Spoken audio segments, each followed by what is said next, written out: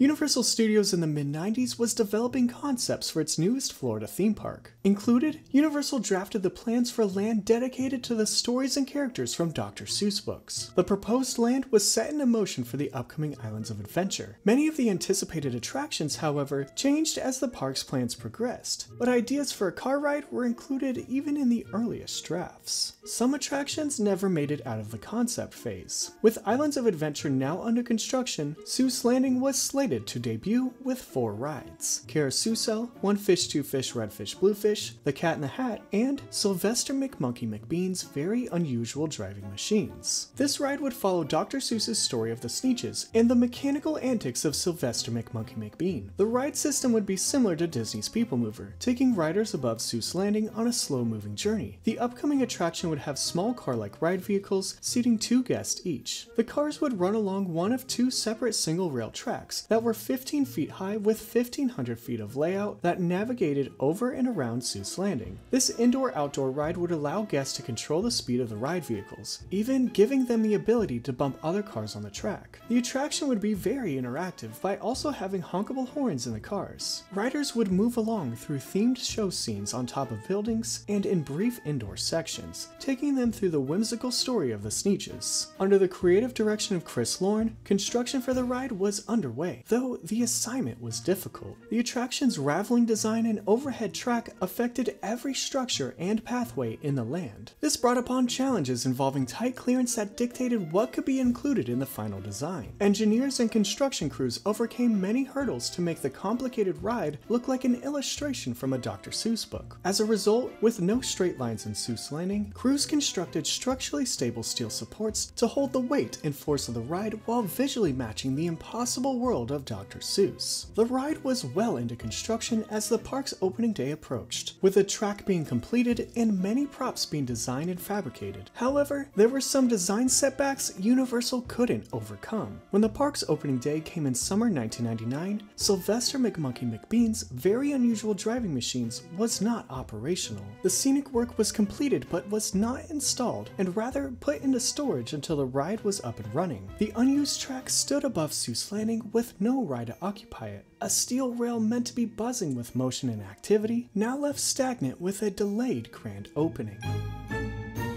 Islands of Adventure upon opening in 1999 had cutting edge attractions around every bend, pushing the standard for storytelling and world building. While these creative advances came with their share of technical setbacks, attractions around the park were still operational and redefined what the industry could achieve. Over in Seuss Landing, though, Universal was still seeking solutions for the unopened Sylvester McMonkey McBean's very unusual driving machines attraction. The park postponed the ride's opening date one year, now scheduled to be ready for guests in summer 2000. Regardless of the ride's new opening date, the inactive track above Seuss Landing was an issue the park needed to address. In plain view above, it somewhat broke the land's theming and made guests wonder where and how they could ride the attraction. To give the inoperative track decorative purpose, two ride vehicles were created to run along the loop, made in time for the park's opening day. One car was designed like Sylvester McMonkey McBean's, with the salesman himself driving it, and the other was a convertible with Sneetches headed out to Sneetch Beach beach, complete with surfboards and beach gear hanging out of the trunk and a license plate reading THARS. Adding the character vehicles was a temporary fix until the ride opened, but Universal's ongoing disputes with the manufacturer confounded the situation. The attraction, though mostly complete, had major hurdles the two sides had to address. The ride wasn't functioning in the way the creative team had hoped, and it was going to be very low capacity, only accommodating a few hundred guests per hour. The ride's main flaws, however, were safety related, particularly Particularly, the ride's design was not properly equipped for an emergency evacuation if needed. When broken down, the ride vehicle could stop anywhere with no momentum on the powered track, which was set 15 feet in the air over guest pathways. In this situation, guests would be stranded in ride vehicles if the attraction could not restart. The narrow ribbon track did not have any catwalks along it. This would affect the ride's evacuation plan for guests, making the process troublesome as some theorized the park would have to use a cherry picker to safely lower stranded guests to the ground. According to Universal, the track was angled in a way so that ride vehicles could coast to a safe exit in emergencies. Also, the ride supposedly had a battery-powered tug car to move idled vehicles. These problems persisted, and the ride's opening date of summer 2000 approached with little to no progress made. In fact, despite the Dr. Seuss ride still being in development, the park added two kid-friendly attractions in 2000 to help balance out its offerings, Stormforce Accelatron and Flying Unicorn. Other major projects, such as reworking the nearby Poseidon's Fury show, tied up the park's budget, and Universal postponed the Dr. Seuss attraction's opening to another year, now planned for summer 2001. This delay would be indefinite, as the ride's manufacturer, Severn Lamb, would go bankrupt in the early 2000s. The attraction now had no opening date in sight. The track was purposeless at this point, even being used to support lighting effects for special events. The area's team members, when asked by guests what the track was for, would say it was just decoration, and for the time being, that's all it was. A disappointment of a design looming over the park.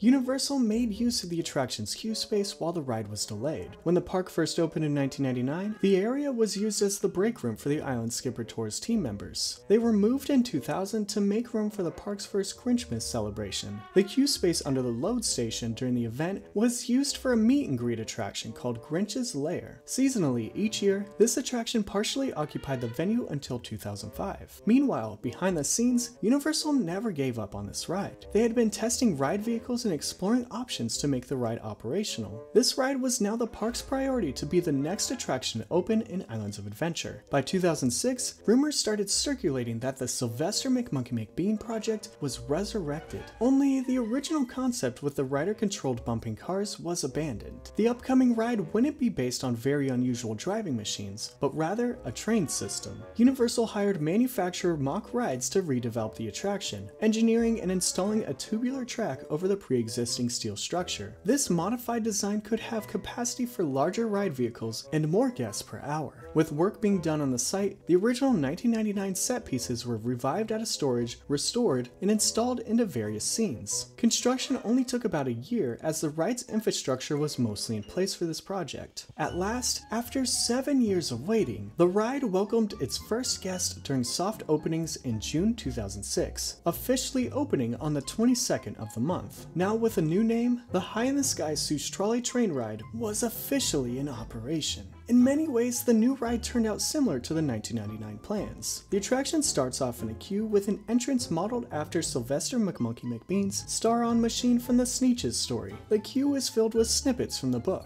A noteworthy change made to the attraction was the addition of emergency platforms and stairs at certain points of the layout, solving the ride's original safety issue. The biggest change made to the attraction were its ride vehicles. Now, large 20-passenger, slow-moving trains instead of small cars that riders would have controlled the speed of. The ride follows one of two powered tracks, the same original layout as constructed in 1999. Both sides go through indoor and outdoor sets atop Seuss Landing, with the two tracks having some unique show scenes from one another. Much of the scenic work, though installed during the new attraction's construction in 2006, was designed and created for the original 1999 ride. The two sides of the ride offer four different audio spiels that play during the ride. Varying versions of the audio during the ride expand the story beyond the sneak including tellings inspired by books such as And to Think That I Saw It on Mulberry Street and Mr. Brown Can Moo, Can You? Guests can hear different stories depending on which track they ride. The two versions on the teal track include narration with wacky noises or a retelling of the Sneetches. The two variations heard on the purple track are the ABCs of Dr. Seuss or audio pointing out the landmarks around Seuss Landing. The area was designed to be seen from above, specifically from this ride track. For example, the Green Eggs and Ham restaurant from the sky looks like it's on a plate. Though the ride didn't work out as originally intended, Seuss Landing feels more complete with the High in the Sky Seuss Trolley train ride, adding a dynamic liveliness to the atmosphere. The opening of the High in the Sky Seuss Trolley train ride, while not a major addition, was significant in capping off a chapter in the wonderfully wobulous history of Islands of Adventure.